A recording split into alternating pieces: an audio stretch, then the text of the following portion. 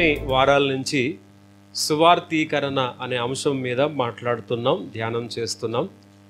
కాబట్టి ఈరోజు కూడా మనం ఆ సువార్థీకరణ అంటే సువార్తను ప్రకటించడం సువార్త తెలియని వారికి అంటే యేసుక్రీస్తు గురించిన వార్త యేసుక్రీస్తు ఎవరు తెలియని వారికి చెప్పడమే సువార్థీకరణ అనబడుతుంది. అలాంటి సువార్థీకరణ చేయడానికి బైబిల్లో అనేకమైన పద్ధతులు ఉన్నాయి. ప్రేరణ ప్రోత్సాహాన్ని ఇచ్చే విషయాలు బైబిల్లో ఉన్నాయి. అందుకే మనం వాటన్నిటినీ కూడా ఒక్కొక్క వారం ఒక్కొక్క సత్యాన్ని మనం చూస్తూ ఉన్నాం. ప్రియులరా ఇప్పటికే ఎనిమిది భాగాలుగా సువార్థీకరణ అనే అంశం మీద మనం ధ్యానం చేసాం ఈరోజు తొమ్మిదవ భాగంగా సువార్త ఉద్దేశం అనేటువంటి భాగాన్ని ఒక అంశాన్ని మనం ధ్యానం చేద్దాం. సువార్త ఎందుకు ప్రకటించాలి? దానికి ఒక ఉద్దేశం ఒక ఉద్దేశం ఉంది. దానికి ఒక కారణం ఉంది. ప్రియులరా ఆ కారణం ఏంటో మనకు తెలిసినట్లయితే నిజముగా మనం సువార్త ప్రకటించడానికి మనలో ఆసక్తి కలుగుతుంది ప్రేరణ కలుగుతుంది. ఒక భక్తుడు ఇలా అన్నారు. ఏమన్నారంటే సువార్త విని రక్షించబడిన ప్రతి ఒక్కరూ సువార్తను ప్రకటించాలి. మరొక భక్తుడు ఒక బైబిల్ వ్యాఖ్యానకర్త ఏమన్నారనంటే సువార్త ఎవరైతే ఇతరులకు ప్రకటిస్తారో అలా ప్రకటించ ప్రకటించేవారే నిజమైన క్రైస్తవులు. అంటే ఒక నిజమైన క్రైస్తవుడు ఏం చేస్తాడండి? క్రీస్తును కూర్చిన సువార్త అనేది ఇతరులకు ప్రకటిస్తాడు. ఎందుకంటే క్రీస్తు ప్రేమ అతన్ని బలవంతం చేస్తుంటుంది.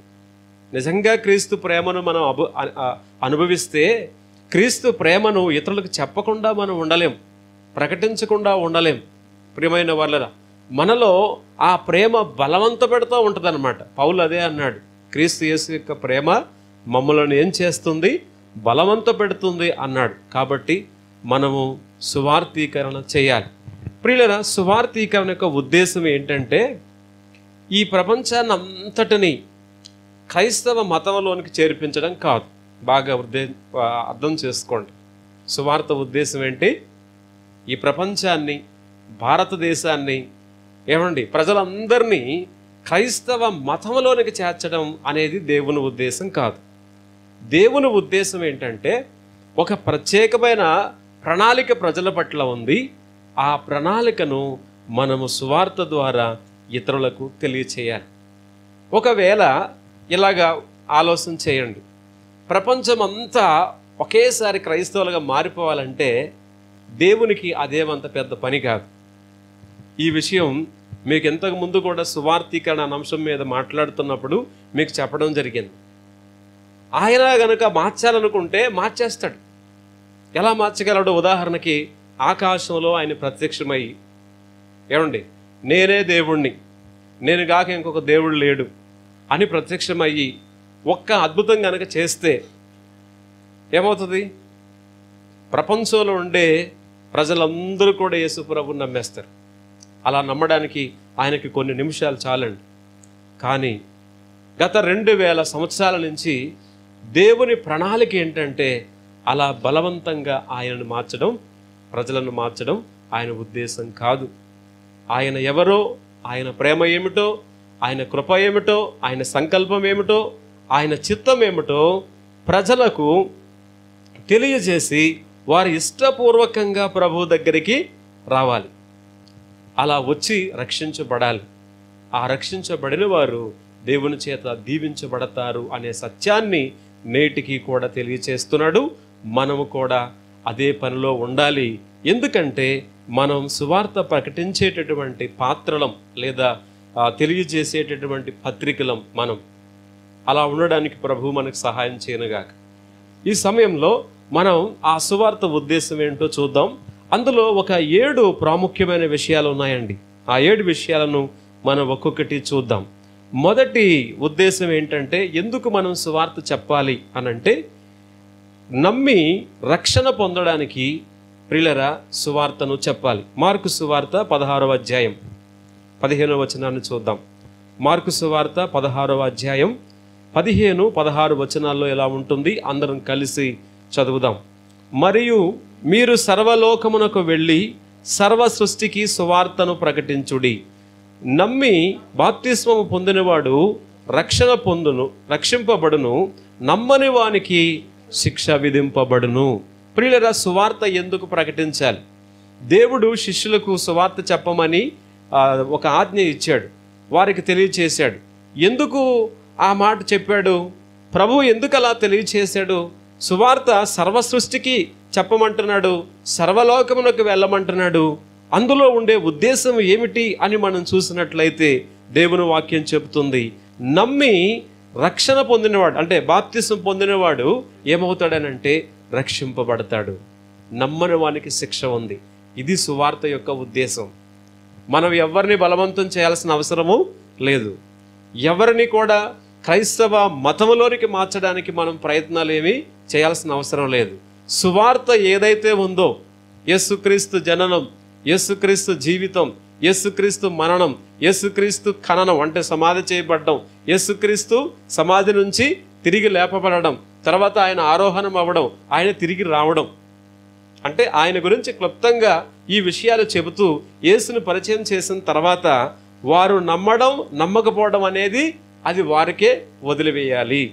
ప్రభువే వదిలివేస్తున్నాడు. చూడండి వదిలివేసిన తర్వాత వారు నమ్మినట్లయితే ఆ నమ్మికను ఆ విశ్వాసాన్ని చూడండి నీటి బాప్తిస్మ ద్వారా వ్యక్తం చేసినట్లయితే అంటే రక్షణ పొందితే ఆ వ్యక్తి రక్షింపబడుతున్నాడు. అలా రక్షింపబడిన వాడు దేవునితో సదాకాలం జీవిస్తాడు. ఒకవేళ ఇది తెలుసు కూడా రక్షించబడలేదనుకోండి అంటే నమ్మలేదనుకోండి అతనికి ఏముందండి? శిక్ష అనేది ఉంది. అందుకే మనం సువార్తను చెప్పాలి. సువార్త ఎందుకు ప్రకటించాలి? మొదటి కారణాన్ని మనం చూసాం ప్రతి ఒక్కరు కూడా నమ్మి దేవుణ్ణి నమ్మి రక్షణ పొందడానికి ప్రియ ప్రియమైన వాళ్ళరా మనం సువార్తను చెప్పాలి. కాబట్టి మనము ఊరికనే ఇప్పుడు ఉండగలమా? ఎందుకంటే ఇది రక్షణ కలుగ చేస్తుంది కదా. రక్షణ కలగజేసే సువార్తను మనం చెప్పకుండా ఎలా ఉండగలం చెప్పండి? ప్రియమైన వాళ్ళరా మనలో ఉత్సుకత మనలో భారం మనలో దేవుని గురించి చెప్పనటువంటి ఒక గొప్ప ప్రేరణ మనం ఎప్పుడు కూడా కలిగి ఉండాలి. మనకి ఏ సమయం దొరికితే ఆ సమయంలో మనం సువార్త చెప్పాలి. దేవుని వాక్యం ఏం చెప్తుందంటే మీరు సర్వలోకమునకు వెళ్ళి అనే మాట చూడండి.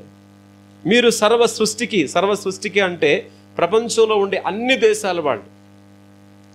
దేవుని వాక్యం ఏం చెప్తుందనంటే భూమి యొక్క ఈ చివర నుండి ఆ చివరకు అంటే ఈ కొన నుండి ఆ కొన వరకు కూడా సువార్త అందించబడాలనేది దేవుని ప్రణాళిక. అందుకే దేవుని వాక్యం మనకి ఏం చెప్తుందనంటే మీరు సర్వ సృష్టికి మరి సమస్త ప్రజలకు కూడా మీరు ఏం చేయాలంటే సువార్తను ప్రకటించండి. మనకి ఆ స్థలము అనే భేదం లేదు. లేదంటే వర్గము అనే భేదము లేదంటే వర్గం అంటే కులము. తర్వాత మనకి భాషా భేదం కూడా లేదు. మన తెలుగు ప్రజలకి సువార్తను అందించడానికి కొన్ని సంవత్సరాల క్రితం విదేశాల నుంచి సువార్థికులు వచ్చారు. వాళ్ళని మిషనరీలను పిలుస్తున్నాం మనం. వాళ్ళకి తెలుగు రాదండి. తెలుగు రాకపోయినా తెలుగు తెలుసుకొని తెలుగు నేర్చుకొని తెలుగులో సువార్త చెప్పారు సంఘాలను స్థాపించారు. సైలస్ ఫాక్స్ అనేటువంటి దైవజనుడు తెలుగు వారికి ఒక ఆ మాస పత్రికను కూడా ఆయన ప్రారంభించాడు. తెలుగు నేర్చుకొని. ఏమండి? తెలుగు వచ్చినటువంటి మనం ఏం చేస్తున్నామో ఆలోచించాలి ఒకసారి. చూసారా? ఇలాగ తెలుగే కాదండి. ప్రపంచంలో అనేక భాషలకి ఏం చేస్తున్నారు? క్రైస్తవ్యం అనేది సువార్తను తీసుకువెళ్తున్నారు. ఆ సువార్త తీసుకువెళ్ళడానికే ప్రియమైన వాళ్ళరా కొన్ని చోట్ల భాష అయితే ఉంది కానీ ఆ భాషకు లిపి లేదు. లిపి అంటే అక్షరమాల. మనం ఎంత ధన్యులం? మనకు తెలుగు భాష ఉంది. ఆ భాషకి ఏముందండి? ఒక లిపి ఉంది. ఈ లిపి లేనటువంటి భాషలు మన భారతదేశంలోనే ఉన్నాయి. అయితే గొప్ప ధన్యత ఏంటంటే మనము ప్రార్థించాలి ప్రభుని స్తుతించదగ్గ విషయం ఏంటంటే బైబిల్ సొసైటీ ఆఫ్ ఇండియా వాళ్ళు ఏం చేస్తున్నారంటే ఆ లిపి లేని భాషలకు కూడా లిపిని కనిపెట్టి ఆ భాషలోనికి బైబిల్ని తర్జుమా చేసి వారికి అందిస్తున్నారు. ఎంత భారం అండి. ఎందుకు కారణం ఏంటి దేవుని ప్రణాళిక భూమి మీద ఉండే ప్రతి వ్యక్తి దగ్గర కూడా వెళ్ళాలి. అది సువార్త యొక్క ఉద్దేశం. తర్వాత రెండవదిగా మనం చూసినట్లయితే ప్రియమైన వర్లరా మనం ఎందుకు సువార్త ప్రకటించాలనంటే అనేకులను శిష్యులుగా చేయాలి అని దేవుడు చెప్తున్నాడు. అపోస్తరుల కార్యముల గ్రంథం పద్నాలుగో అధ్యాయం ఇరవై ఒకటవ వచనాన్ని చూస్తే ఎందుకు సువార్త ప్రకటించాలో ఆ సువార్త యొక్క కారణాన్ని రెండవదిగా మనం చూస్తాం. పద్నాలుగవ అధ్యాయం ఇరవై ఒకటో వచనం. అందరం కలిసి చదువుదాం. వారు ఆ పట్టణములో సువార్త ప్రకటించి అనేకులను శిష్యులనుగా చేసిన తర్వాత లుస్త్రాకును ఈకొనియకును అంత్యకును తిరిగి వచ్చి ప్రియమైన వాళ్ళరా ఎరుషలేములోని సంఘం అంత్యోకలోని సంఘం ఏం చేశారనంటే పదమూడవ అధ్యాయంలో మనం చూస్తాం. అపోస్తుల కార్యాల గ్రంథంలో నుండి పదమూడవ అధ్యాయంలో మనం చూస్తామన్నమాట. ఉన్న సంఘం ఏం చేసిందంటే కొంతమందిని సువార్త సేవ కొరకు మిషనరీలుగా పంపించింది. ప్రాముఖ్యంగా బర్నబా పౌలు అనేవాళ్ళు ఉన్నారు. వీరు వెళ్ళి సువార్త ప్రకటించి ఏం చేశారంటే వచ్చేశారు. అంతేనా? కాదు. వాళ్ళు సువార్త ప్రకటించి నమ్మిన వారిని శిష్యులుగా చేశారు. ఎవరు శిష్యులుగా చేశారు? ఎవరు శిష్యులుగా? బాగా అర్థం అవ్వాలి వాక్యం మనకి. క్రీస్తుకు శిష్యులుగా చేయాలి. బర్ణబాకు శిష్యులుగా చేసుకోలేదు. పౌలుకి శిష్యులుగా చేసుకోలేదు.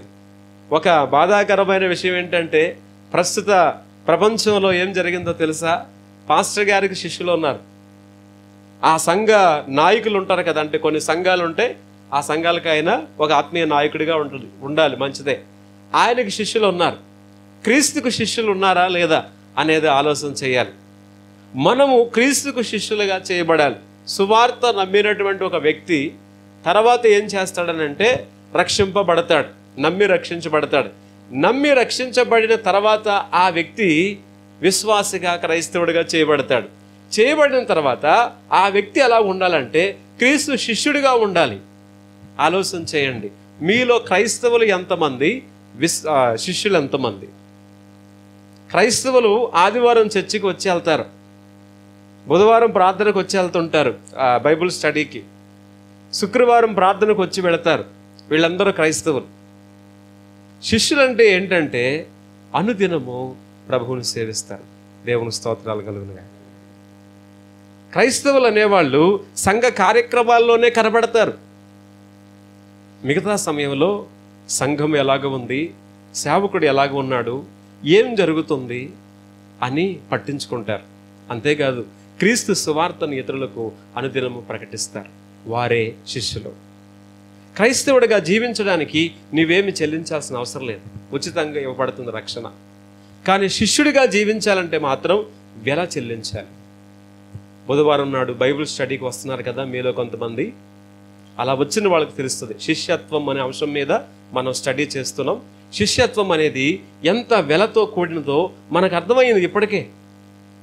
ప్రియులరా దేవుడి లోకములో క్రైస్తవులుగా జీవించాలని ఆయన కోరుకోవడం మాత్రమే కాదు అలా ఉండాలి. అంతకంటే మన అనుభవం ఎలాగ ఉండాలంటే క్రీస్తు శిష్యులుగా ఉండాలి. క్రీస్తు శిష్యులుగా ఉన్నట్లయితే క్రీస్తు కొరకు మనం ఏదైనా చేస్తాం. శిష్యుడు అంటే బైబిల్ పరిభాషలో అంతా ప్రభువే. నేను ఏమీ కాదు నా ఇష్టము ఏది లేదు. ఒకసారి చెప్పండి నేను ఏమీ కాదు నా ఇష్టము ఏమీ లేదు. అంతా కూడా ప్రభు యొక్క ఆదేశం ఏది చెప్తుందో అదే చెయ్యాలి అదే చేస్తాను. అలా చేసేవారు ఎవరండి? క్రీస్తు యొక్క శిష్యులు. అందుకనే ఆనాడు సువార్త ప్రకటించారు.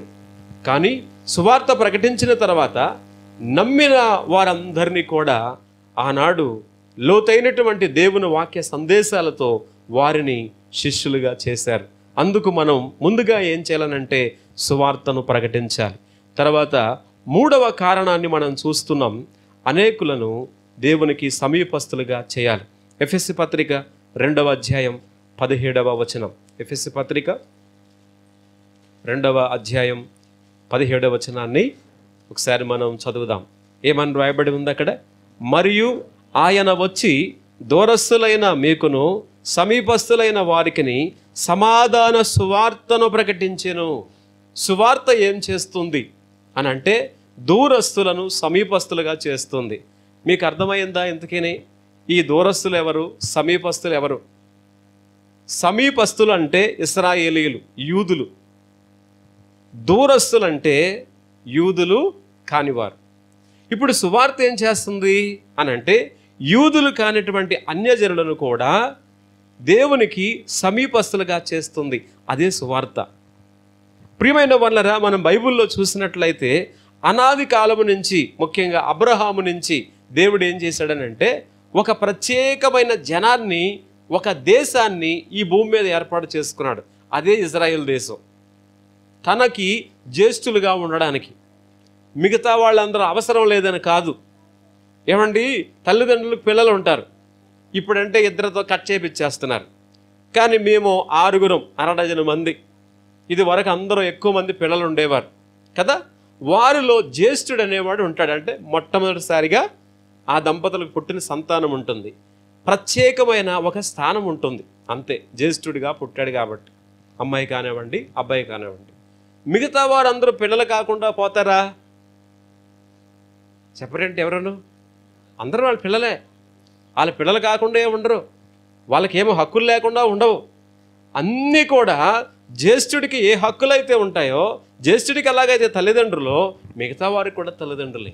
దేవుని వాక్యం ఏం చెప్తుందంటే ఈ భూమి మీద అబ్రహాము సంతానాన్ని తన జ్యేష్ఠుడిగా దేవుడు ఏర్పాటు చేసుకున్నాడు. వాళ్ళని సమీపస్తులు అంటారు. ఎందుకు ఏర్పాటు చేసుకున్నాడండి? భారతదేశస్తులు ఎందుకు ఏర్పాటు చేసుకోవాలా? అమెరికా వాళ్ళని అప్పుడు అమెరికా లేదులేండి. అమెరికాని ఎందుకు ఏర్పాటు చేసుకోవాలా? లేదంటే ఆఫ్రికా వాళ్ళు ఎందుకు ఏర్పాటు చేసుకోవాలా? అని అంటే వీళ్ళను కూడా ఏర్పాట్లో భాగంగా చేశాడు. ఎలాగనంటే అబ్రహాము ద్వారా అనేకులను అందరినీ అంటే ప్రపంచంలో ఉండే వాళ్ళందరినీ ఆస్వాదించాలని ఒక జ్యేష్ఠ సంతానంగా ఒక ప్రత్యేకమైన తన జనముగా ఏర్పాటు చేశాడు. ఇందులో దేవునికి ఏమైనా స్వార్థం ఉందా? ఏమీ లేదు. బైబిల్ అర్థం కాని వాళ్ళు బైబిల్ విమర్శకులు ఇదే విమర్శిస్తారు. దీనికి మనం సమాధానం చెప్పాలి. బైబిల్లో ఉంది దానికి సమాధానం. దేవుడు యూదుల్లో ఏర్పాటు చేసుకున్నాడండి మిమ్మల్ని ఏర్పాటు చేసుకోలేదు మనల్ని అంటాడు ఒకడు. అర్థం కాక. ఆయన ఏర్పాటు చేసుకున్నాడు. ఏర్పాటు చేసుకొని అబ్రహాము ద్వారా అంటే అబ్రహాము సంతానంలో నుంచి వచ్చిన యేసుక్రీస్తు ద్వారా మనలను ఆశీర్వదిస్తున్నాడు. అలా ఆశీర్వదించాలి. ఆ ఆ కార్యము నెరవేర్చబడాలనంటే దేవుని వాక్యం ఏం చెప్తుందనంటే సువార్తను ప్రకటించాలి. అందుకనే వాక్యం ఏం చెప్తుందంటే మీరు వెళ్ళి సమస్త సృష్టికి మీరు సువార్తను చెప్పండి. అంటే అన్ని దేశాలకి సువార్త చెప్పండి అంటే ఏంటంటే దూరస్తులైన వారందరినీ కూడా సమీపస్తులుగా చేయాలి. చూడండి ఇప్పుడు మనం సమీపస్థలంగా చేయబడ్డాం కదా దేవునితో సమాధానపరచబడ్డం కదా సమాధానపరచబడిన మనకి ఎంత గొప్ప ఆశీర్వాదం. ఈ ఆశీర్వాదం గురించి తెలియాలంటే పై వచనాలు మనం చూడాలి. పన్నెండవ వచనాన్ని చూడండి. ఆ కాలమందు ఇస్రాయేలుతో సహపౌరులు కాక ఇజ్రాయెల్ దేశంలో ప్రియమైన వలరా సువార్తలు మనం చదువుతుంటే మనకు ఏమర్థం అవుతుందో తెలుసా? యూదుడు కాక ఇస్రాయేలుడు కాక ఇంకా ఎవరైనా అంటే యూదుడన్నా ఇస్రాయేలుడన్నా ఒకటే. ఈ యూదుడు కాకుండా అన్యజనులు ఎవరైనా ఎంతటి వారైనా ఎంతటి జ్ఞానవంతులైన ధనవంతులైన పేరు ప్రఖ్యాతులు గడించిన వారు కుక్కతో సమానం. ఎవరికి? ఇస్రాయేలులకి. అన్యుడు ఎవరైనా సరే ప్రియమైన వాళ్ళరా దేవుని వాక్యంలో ఉంది. కనుక అలాగ భావించేవారు. కానీ సువార్త ఏం చేస్తుందనంటే అబ్రహాము యొక్క సంతానంగా మార్చేస్తుంది. అంటే చూడండి అక్కడ పన్నెండు వచనంలో ఆ కాలమందు ఇస్రాయేలుతో సహపౌరులు కాక ఉన్నారు అన్యజనులు. తర్వాత పరదేశులుగా ఉన్నారు. మూడవదిగా వాగ్దానము లేనివారు. నాలుగవదిగా నిబంధన లేనివారు. తర్వాత పరజనులు. ఆ తర్వాత నిరీక్షణ లేనివారు. లోకమందు దేవుడు లేనివారై ఉండి క్రీస్తుకు దూరస్తులై ఉంటుందని మీకు జ్ఞాపకం చేసుకున్నది ఇదండి మన దౌర్భాగ్య పరిస్థితి. మనకు దేవుడు లేడు దేవుని నిబంధనలు లేవు దేవుని వాగ్దానము లేదు ప్రియులరా నిరీక్షణ అనేది లేదు. ఈరోజు మనకు నిరీక్షణ ఉంది. ప్రపంచంలో అన్ని మతాలు ఉన్నాయి ప్రపంచవ్యాప్తంగా చాలా మతాలు ఉన్నాయి. ఇన్ని మతాల్లో లేని ఒక ప్రత్యేకత క్రైస్తవ్యంలో ఉంది. చెప్పాలది. ఏమిటది? రక్షణ నిరీక్షణ. ప్రతి మతం ఏం చెప్తుందంటే ఈ లోకంలో మంచిగా ఉండండి చచ్చిపోయండి స్వర్గానికి వెళ్ళిపోతారంటారు. అంటారు ఆ స్వర్గం ఉందో లేదో వాళ్ళకి తెలియదు. అది కూడా చెప్పవు కొన్ని మతాలు. కానీ క్రైస్తవ్యం ఏం చెప్తుందంటే ఈ లోకంలో జీవిస్తారు కానీ ఈ లోకంలో జీవించేది ఎందుకంటే మనం సదాకాలం ప్రభువుతో నిత్యత్వంలో జీవిస్తాం అని నేర్పిస్తుంది. దాన్నే నిరీక్షణ అన్నారు. కనుక క్రైస్తవులకి మరణం అంటే భయం ఉండదు. ఎందుకు ఉండదంటే ఆ మరణ భయము నుండి దేవుడు మనలను విడిపించి నిరీక్షణను మనకు దయచేశాడని మనం చూస్తున్నాం. కాబట్టి ఇప్పుడు అర్థమైంది కదా మీకు? యూదులకి అంజులకి ఎంత పోలిక ఉంది ఎంత తేడా ఉందో యూదులేమో సమీపస్తులు అన్యులేమో దూరస్తులు ఈ దూరస్తులైనటువంటి మనలను అన్యజనులమైన మనలను తన సువార్తను పంపించి వాళ్ళని మనల్ని ఇప్పుడు ఏం చేశారు? సమీపస్తులుగా చేస్తారు సమాధానపరిచింది సువార్త. అందుకని సువార్త చెప్పండి. ప్రపంచంలో ప్రియులరా ఒక్క సంఘములోనే కులభేదం ఉండదు అనేది చెప్తుంది తెలియచేయబడింది అలాగే జరుగుతుంది. బయట ఎక్కడా జరగంది. కేవలం క్రైస్తవ సంఘములోనే ఈ భేదం లేకుండా కనబడుతుంది. ప్రాంతీయ భేదం కానీ కుల భేదం కానీ మత భేదం లేదు కానీ భాషా భేదం కానీ ఏమీ లేకుండా కనబడేది ఎక్కడంటే ఒక్క క్రైస్తవ సంఘములోనే. మరెక్కడ మనకి కనిపించదు. ప్రియమైన వాళ్ళరా కమ్యూనిస్టుల మధ్య కనిపిస్తుంది కానీ వాళ్ళకి నిరీక్షణ లేదు. దేవుడే లేడంటారు కదా. కాబట్టి ప్రియమైన వాళ్ళరా గమనించండి దేవుని యొక్క సువార్త ఏం చేస్తుందంటే అనేకులను ఒకటిగా చేసి వారిని దేవునికి సమీపస్తులుగా చేస్తుంది. అందుకు మనం సువార్తను ప్రకటించాలి. తర్వాత నాలుగవదిగా మనము చూసినట్లయితే ప్రియమైన వాళ్ళరా జీవాన్ని వెలుగులోనికి తేవడానికి సువార్తను ప్రకటించాలి. చూడండి తిమోతి రెండవ పత్రిక. మొదటి అధ్యాయం పదవ వచనాన్ని చదువుదాం. తిమోతి పత్రిక రెండవ పత్రిక మొదటి అధ్యాయం. తెలుగు బైబిల్లో తొమ్మిది పది వచనాలు కలిపి ఉన్నాయి చూడండి. మన క్రియలను బట్టి కాక తన స్వకీయ సంకల్పమును బట్టి అనాది కాలముననే క్రీస్తు యేసునందు మనకు అనుగ్రహింపబడినదియు. క్రీస్తు యేసును మన రక్షకుని ప్రత్యక్షత వలన బయలుపరచబడినదియునైనా తన కృపను బట్టి మనలను రక్షించి పరిశుద్ధమైన పిలుపుతో ఆయన మనలను పిలిచెను.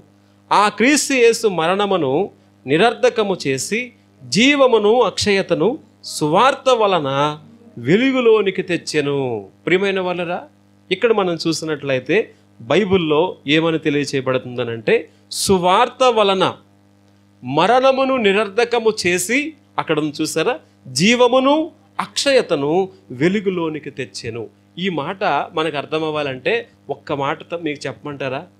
సువార్త ఎక్కడైతే చెప్పబడలేదో వినబడలేదో ఆ ప్రాంతం మరణంలో ఉంది.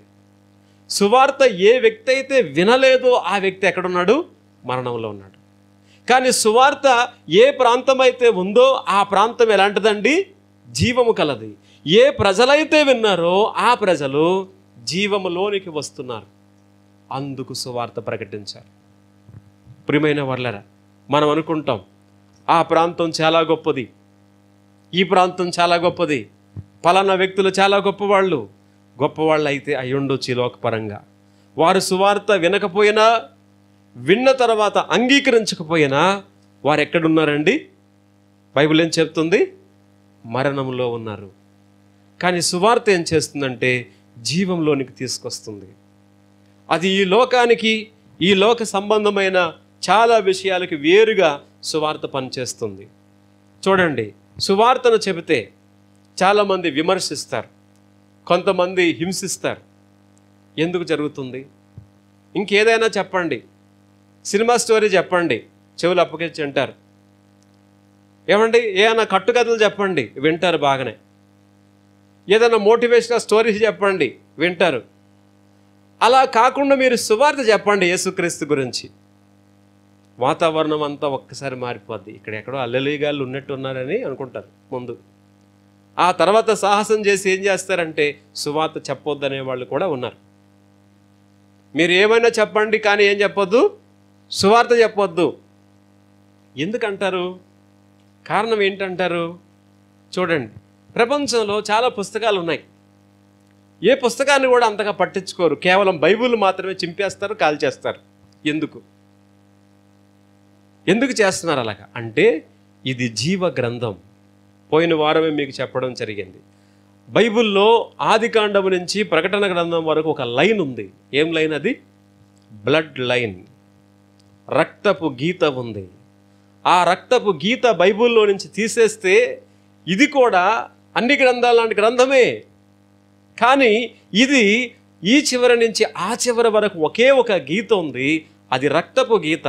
అంటే రక్తం ఏంటంటే జీవము. రక్తం ఏంటండి? జీవం. రక్తంలో ఏముంటుంది? జీవం ఉంటుంది. ఇది జీవ గ్రంథం. దేవునికి స్తోత్రాలు. ఆ గ్రంథంలో రాయబడిన దేవుని మాటలు జీవపు మాటలు సువార్త దేవుని మాటలు అది జీవప్రదమైనవి. అందుకనే అవతల వ్యక్తిలో హృదయంలో పనిచేస్తాయి అందుకనే సువార్త విన్న తర్వాత వాళ్ళు స్పందిస్తారు. మీకు చెప్పడం జరిగింది. ఎలా స్పందిస్తారండి? రెండు రకాలుగా స్పందిస్తారు. ఒకటి విశ్వాసమన్నా ఉంచుతారు లేదా వాళ్ళు తిరగబడి ద్వేషించనన్నా ద్వేషిస్తారు. ఈ రెండిట్లో ఏదో ఒకటి జరుగుతుంది. సువార్త మహాశక్తి అండి. సువార్త మహాశక్తి అయినప్పుడు అది పనిచేస్తుంది ప్రియమైన వర్లరా ఇది ఎలాంటిదంటే సైనికులు పోరాటం లాంటిది. ఆ శక్తిని అర్థం చేసుకోవడానికి మన భాషలో అర్థం చేసుకోవడానికి ఎందుకు ద్వేషిస్తారని అంటే సువార్త ఎలాంటిదనంటే సైనికులు పోరా పోరాటం లాంటిది మిలిటరీ పోరాటం. ఉదాహరణకి మన దేశానికి పాకిస్తాన్కి మధ్య పోరాటం జరుగుతుంది. మిలిటరీ వాళ్ళు ప్రాణాలు పణంగా పెట్టి పోరాటం చేస్తున్నారు. మనమేమనుకుంటాం మన సైన్యాన్ని? మన దేశం పక్షంగా పోరాడుతున్నారు. అవతల దేశస్థులు చనిపోయారనుకోండి శత్రువులు చనిపోయారని మనం అనుకుంటాం కానీ అవతల వాళ్ళు ఏమనుకుంటారు మనల్ని? అర్థమవుతుందా? మనల్ని ఏమనుకుంటారు? వాళ్ళు శత్రువులు అనుకుంటారు. ఇప్పుడు చూడండి వాళ్ళకేమో అది ఏమవుతుందనంటే ఒకవేళ నష్టపోయారు అనుకుందాం మన శత్రువులే చచ్చిపోయారు అనుకుందాం. వాళ్ళేమనుకుంటారు తెలుసా? వీరమరణం పొందారని అంటారు. నిజమే మరి అది. తప్పేమి కాదు. అంటే అక్కడ చూడండి దృష్టి కోణం ఎలాంటిదంటే అవతల వ్యక్తి ఏమో ఒకలాగా చూస్తున్నాడు యువతల వ్యక్తి ఇంకొకలాగా చూస్తున్నాడు. ఒకే విషయం. సువార్త విషయంలో కూడా కొందరు స్పందించడానికి అంటే మంచిగా అంగీకరించడానికి మరికొంతమంది అంగీకరించడానికి కారణం ఏంటంటే వారి దృష్టి వేరువేరుగా ఉంటుంది. అందుకని ఎలా స్పందించినా దేవునికి స్తోత్రం చెప్పి మనం ఏం చేయాలనండి? సువార్తను చెప్పాలి. సువార్తను ప్రకటించాలి. సువార్తను అందజేయాలి. ఇది మనకు దేవుడిచ్చినటువంటి గొప్ప భాగ్యం. అందుకని సువార్త ఎక్కడైతే ప్రకటించబడుతుందో అక్కడ జీవం ఉంది మరణం అనేది పోతుంది. తర్వాత ఐదవ కారణాన్ని మనం చూసినట్లయితే దేవుని వాక్యములో చూడండి. ప్రియమైన వాళ్ళరా దేవుని వాక్యములో ఐదవ కారణాన్ని మనం చూస్తూ ఉన్నాం. అదేంటంటే క్రీస్తు మహిమను పొందడానికి దేవుడు మనల్ని ఏర్పాటు చేసుకున్నాడు. దశలోనిక పత్రిక రెండవ పత్రిక రెండవ అధ్యాయం పద్నాలుగో వచనాన్ని చదువుదాం. దశలోనిక పత్రిక రెండవ అధ్యాయం పద్నాలుగో వచనాన్ని చదువుదాం. మీరు ఇలాగున రక్షింపబడి మన ప్రభువైన యేసుక్రీస్తు యొక్క మహిమను పొందవలనని ఆయన మా సువార్త వలన మిమ్మును పిలిచెను. పిల్లరా ఎందుకు సువార్తను ప్రకటించాలి? కారణం ఏంటి? ఐదవ కారణం అని అంటే దేవుని వాక్యంలో చెప్పబడింది క్రీస్తు మహిమను పొందడానికి. మనము అంటే క్రీస్తును అంగీకరించిన వారు సువార్తను నమ్మి రక్షణ పొందిన వారు ఏం పొందుతారని అక్కడ ఉంది? ప్రభువైన యేసుక్రీస్తు యొక్క మహిమను పొందాలి. అది ఉద్దేశం. ప్రియమైన వాళ్ళరా ఎంత గొప్ప ధన్యత. మనం సువార్త ప్రకటిస్తుంటే మనకు తెలుసా ఇంతకీ ఎందుకు ప్రకటిస్తున్నామో? సువార్త ప్రకటన వెనుక ఉద్దేశం ఏంటంటే ప్రియులరా ప్రభువైన యేసుక్రీస్తు మహిమను పొందాలి. అందుకని మీకు ముందుగా చెప్పడం జరిగింది క్రీస్తును నమ్మడం అంటే క్రైస్తవ మతంలోనికి రావడం కాదు. మనకి మతమే కావాలంటే చాలా మతాలు ఉన్నాయి భూమి మీద. భూమి మీద ఎందుకు? మన భారతదేశంలోనే ఉన్నారు ముప్పై మూడున్నర కోట్ల దేవుళ్ళు. అంటే ఎవరో ఒక ఆయన లెక్కేసాడు మన దేశంలో ప్రతి ముగ్గురికి ఒక దేవుడు ఉన్నాడట. అంటే అమెరికా జనాభా కంటే ఎక్కువ మన దేశంలో ఉన్న దేవుళ్ళ సంఖ్య ఉందన్నమాట. అంతమంది దేవుళ్ళు ఉన్నారు మనకి. ప్రియమైన వాళ్ళని గమనించండి ఇన్ని దేవుళ్ళు ఇన్ని మతాలు ఉంటుండగా యేసును ఎందుకు నమ్మాలి? సువార్తను ఎందుకు అంగీకరించాలి? అంగీకరించిన వారు సువార్తను ఎందుకు ప్రకటించాలి? కారణం ఏంటంటే బైబిల్ చెప్తుంది వారు యేసుక్రీస్తు మహిమను పొందాలి. ఇప్పుడు మీకు సందేహం రావాలి. ఏమిటండి ఆ మహిమ అంటే? మహిమను పొందాలి బాగానే ఉంది. మహిమ మహిమ మహిమ అని మనం చాలా పాటలు కూడా పాడతాం చాలా సందర్భాల్లో. ఏమిటా మహిమ? అని అంటే క్రీస్తు ఎలాగైతే ఉన్నాడో అలా మనం మారుతాం. అదే మహిమ. మనము ఆయన రెండోసారి వచ్చేటప్పుడు ఆయన మనం ఎదుర్కొంటాం. ఆ ఎదుర్కొనేటప్పుడు వాక్యం ఏం చెప్తుందంటే మనము ఆయన యొక్క స్వారూప్యంలోనికి రూపాంతరం చెందుతాం. మనం ఎలాగున్నా ఈ భూమి మీద? ఏ రకంగా ఉన్నా? ప్రిల్లర ఏ దేశంలో ఉన్నా? ఏ జాతీయత మనకున్నా? మనము ఒకానొక సమయమున క్రీస్తు యొక్క మహిమను పొందుతాము. అందుకే సువార్తను మనం ప్రకటించాలి. చాలా సందర్భాల్లో మనము ఏం ఆలోచిస్తామంటే క్రీస్తుని చాలా తక్కువగా ఆలోచిస్తూ ఇతర దేవుళ్ళలాగా యేసు ప్రభువును కూడా ఆరాధిస్తూ ఇతర మతాల్లో కూడా క్రైస్తవ్యాన్ని చేర్చేసి మనం అంతవరకే అర్థం చేసుకుంటున్నాం. కానీ బైబిల్ ఏం చెప్తుందనంటే క్రీస్తు ఎలాగైతే ఉన్నాడో అంటే ఆ దేవుడు ఎలాగైతే ఉన్నాడో ఆయన రూపంలోనికి మనలను మార్చడానికే దేవుడు మనలను సువార్త ద్వారా రక్షించాడు. అందుకే మనం సువార్తను ఏం చేయాలనండి? ప్రకటించాలి. కాబట్టి ఈ మాటలు మీకు అర్థమైనట్లయితే సువార్త ప్రకటించకుండా ఉండలేరు ఈ మాటలు మనకు అర్థమైనట్లయితే మనం సువార్త చెప్పకుండా ఉండలేం. ఎందుకంటే అది మహిమనిస్తుంది ప్రతి ఒక్కరికి కూడా. ప్రియులరా క్రీస్తును మరి మనం సువార్త ద్వారా అనేకులకు పరిచయం చేయాలి. ఇదే చేయాలి మనం. కొంతమంది సువార్త ఎలాగా అందిస్తారనంటే ఏవేవో కొన్ని భూ సంబంధమైన వస్తువులు భూ సంబంధమైనటువంటి రకరకాల వాటితో ఊడి ఊరడిస్తుంటారు. అలా చేయకూడదు. మనం సేవ చేయాలి సహాయం చేయాలి. లేని వారికి పేదవారికి సహాయం చేయాలి. కానీ ప్రభువును నమ్మాలన్న ధ్యేయంతో అనేకులను మార్చాలన్నటువంటి ఆలోచనతో వాళ్ళకి ఏవేవో ఇవ్వడానికి ఉద్దేశం చేయాల్సిన అవసరం లేదు. రాజకీయ నాయకులు ఓట్ల కోసం ఏం చేస్తారండి? ఏం చేస్తారు? రకరకాల పథకాలు పెడుతుంటారు. అలాంటి పథకాలు ఏమి క్రైస్తవ సంఘాల్లో లేవు. బాగా అర్థం చేసుకోండి. పిల్లరా లేని వారికి ఇవ్వడం అనేది తప్పు లేదు. గమనించండి ఇక్కడ మనం అలాగ మభ్యపెట్టి ఎవరిని క్రైస్తవ సంఘంలోనికి మార్చలేము మార్చకూడదు. ఒకవేళ మారిస్తే ఏం జరుగుతుంది? వాళ్ళు వచ్చేది క్రీస్తు కోసమా లేకపోతే అవసరాల కోసమా? ఈనాడు సంఘంలో బోధ కూడా ఎలా ఉంది? సంఘంలో బోధ ఎలా ఉంది? Health and wealth prosperity gospel అంటారనమాట అంటే ఆరోగ్య ఐశ్వర్యాల బోధ. యేసు దగ్గరికి రండి. మీ ఆ- మీకు ఆరోగ్యం వస్తుంది. యేసు దగ్గరికి రండి మీ అప్పులు తీరిపోతాయి. యేసు దగ్గరికి రండి మీ కోర్టు కేసులు కట్ కొట్టేస్తాడు. వీడు పనికి మాలిన పనులన్నీ చేసి కోర్టుకి వెళ్తాడు దేవుడు ఏం చేయాలట అండి? ఆ కేసును కొట్టేయాలట. ఎంత దుర్మార్గం అండి ఇది?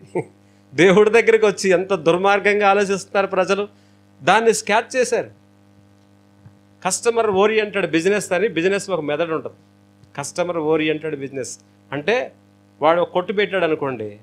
కొట్టు పెట్టిన తర్వాత కస్టమర్ వచ్చి ఏం అడిగితే అది తెచ్చి పెడతాడు రెండో రోజు. అర్థమైందా? ఏం అడుగుతాడో కస్టమర్ వచ్చి వీడికి తెలియకపోయినా అవసరం లేకపోయినా వీడు అమ్మకూడదు అనుకున్నా అది తీసుకొచ్చి పెడతాడు. ఎందుకనంటే కస్టమర్ అనేవాడు వేరే షాప్కి వెళ్ళకూడదు. చర్చిలు కూడా ఎలా ఉన్నాయంటే కస్టమర్ ఓరియంటెడ్ బిజినెస్ చేసే చర్చిలు ఉన్నాయి ఈనాటికి కూడా. అంటే ప్రజలు ఏది కోరుకుంటారో అది వాళ్ళకి ఇవ్వాలి. వాక్యం వాళ్ళకి అవసరం లేదు. క్రైస్తవ శిష్యత్వం అనేది వారికి అవసరం లేదు. క్రీస్తు కొరకు జీవించాలి అనేది అవసరం లేదు.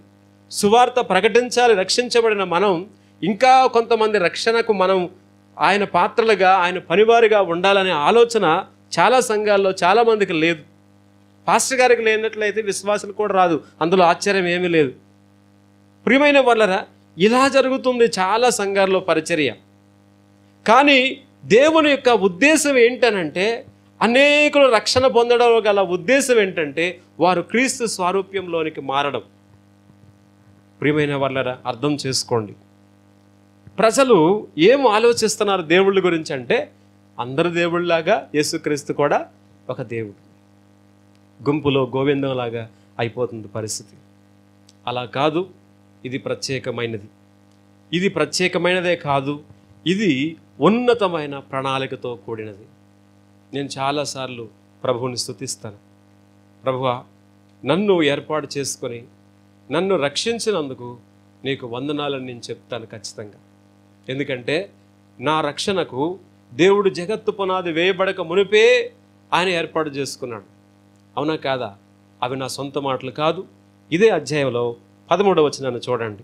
ప్రభువు వలన ప్రేమింపబడిన సహోదరులారా ఆత్మ మిమ్మును పరిశుద్ధపరచుట వలన మీరు సత్యమును నమ్ముట వలనను రక్షణ పొందుటకు దేవుడు ఆది నుండి మిమ్మను ఏర్పరచుకొనెను. ఏం చేశాడండి? ఈరోజు రక్షణ పొందిన మనం అందరం తెలుసుకోవాలి.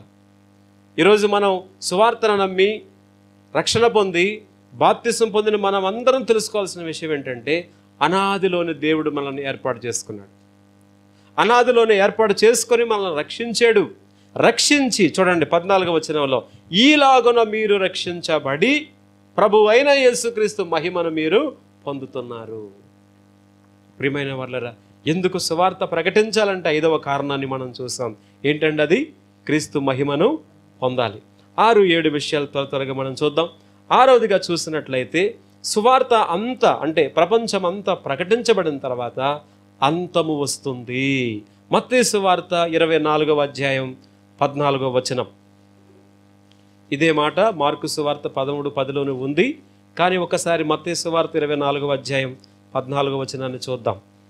మరియు ఈ రాజ్య సువార్త సకల జనములకు సాక్షార్థమై లోకమందంతటను ప్రకటింపబడను. అటు తర్వాత అంతము వచ్చను. ప్రియులరా సువార్త ఎందుకు ప్రకటించాలి?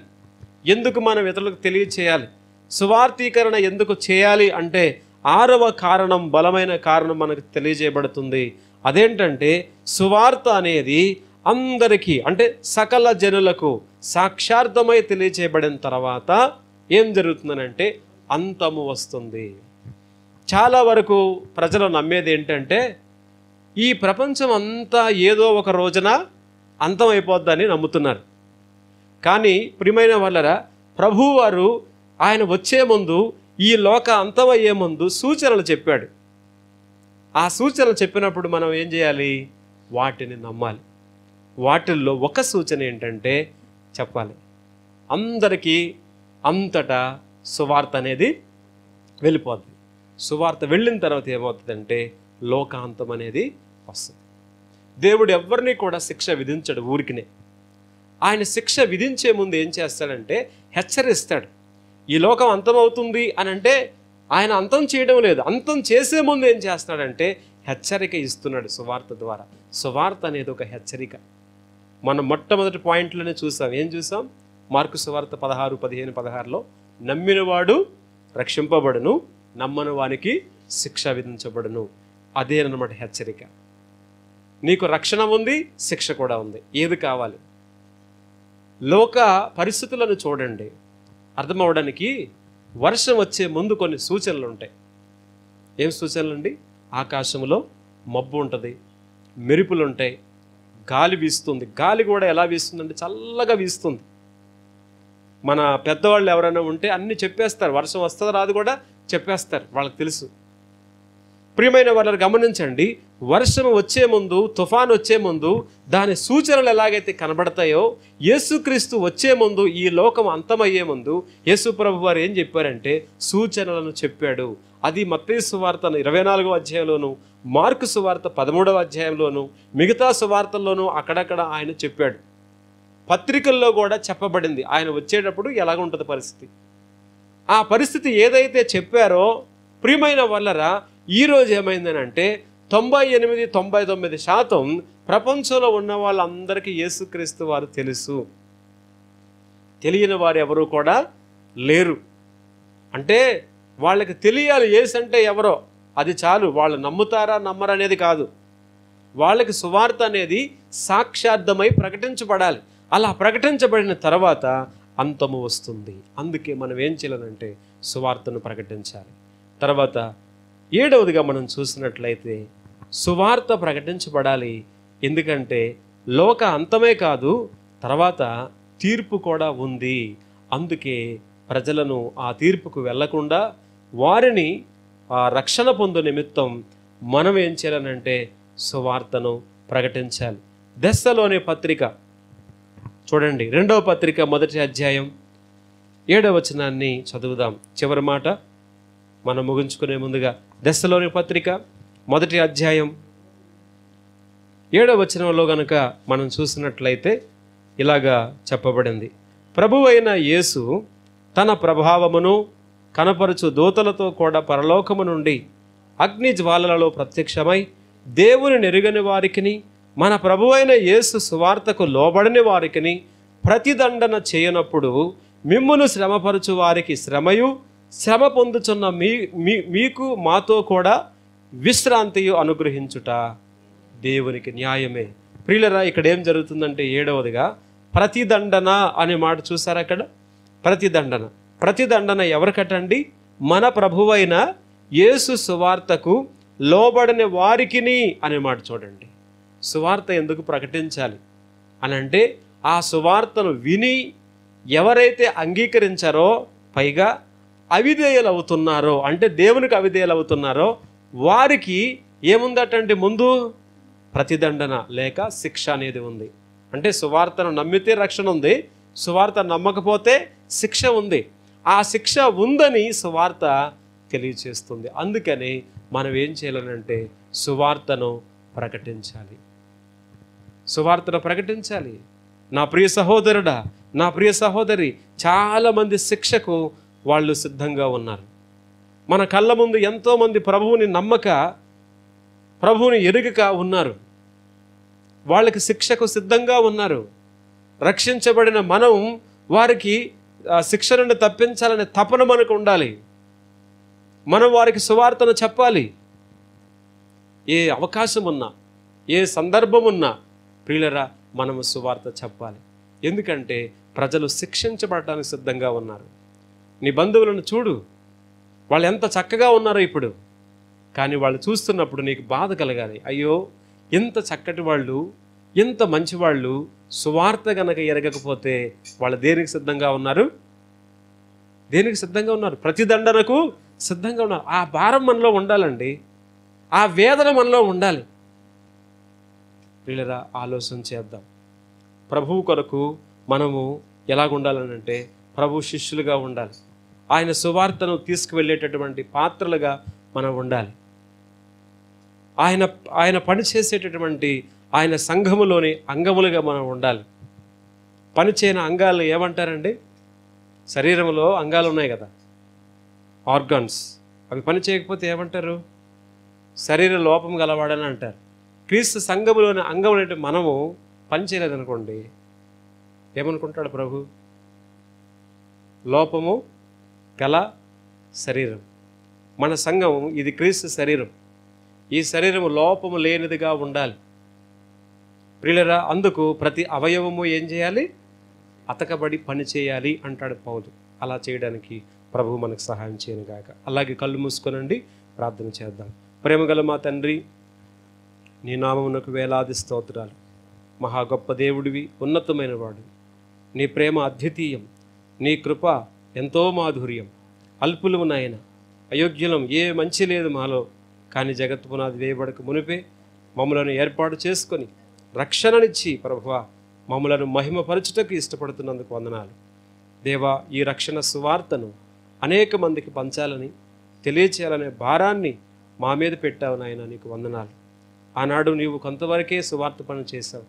మిగిలిన పని అంతా కూడా శిష్యుల మీద పెట్టినట్లుగా నేటికి నైనా ప్రపంచంలో అన్ని దేశాలు కూడా ప్రభు నిన్ను చేరడానికి నీ వైపుకు తిరగడానికి రక్షణ పొందడానికి కారణమైంది. అయితేనైనా ఇంకా రక్షణ పొందాల్సిన ప్రజలు మా కళ్ళ ముందు అనేక మంది ఉన్నారు ప్రభువ. అనేక మంది శిక్షకు సిద్ధంగా ఉన్నారు ప్రభువ. అయ్యా వారికి మేము సువార్త చెప్పడానికి వారికి నీ ప్రేమను పంచడానికి సహాయం చేయమని ప్రార్థన చేస్తున్నాం. మాలో భారాన్ని బాధ్యతని కలిగించి ప్రేరేపించిన ఆయన ఈ సువార్థీకరణ అనే అంశం ద్వారా మమ్మలను బలోపేతం చేయమని కార్యోన్మకులుగా చేయమని యేసు క్రీస్తు వారి నామంలో ప్రార్థించి వేడుకుంటున్నాం తండ్రి. ఆమెన్.